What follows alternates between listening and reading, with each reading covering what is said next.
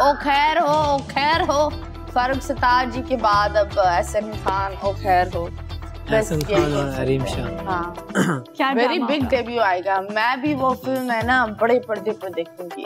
Drama है ना वो और ड्रामा वो ड्रामा। बड़े पर्दे पर लगा कर देखूँगी। पर्दा रखूँगी। हरीम शाह की बहुत अच्छी लगती है। हाँ? कभी पीएम हाउस में कभी सीएम हाउस में तो अब ड्रामों में। देखें। लक हो तो ऐसा हो गई हाँ। ये होता है लक एक ये बेचारी इसको खुद के घर में नहीं छोड़ते। एक अल्लाह आप है माफ़ मेरे करे। बराबर में बैठे। नहीं नहीं नहीं नहीं नहीं नहीं मैं आपको एक बात बताऊँ।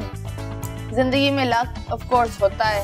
एंड इन चीज़ों को जैसे लोग बोलते हैं कि पीएम हाउस में सीएम हाउस हम्म। में पीएम uh, का भी कोई लेना देना नहीं था। ये बड़ा क्लियर आउट करना चाहिए कि हाँ, वो तो- उनकी जो सिक्योरिटी थी उन्होंने एंटर करवा दिया था।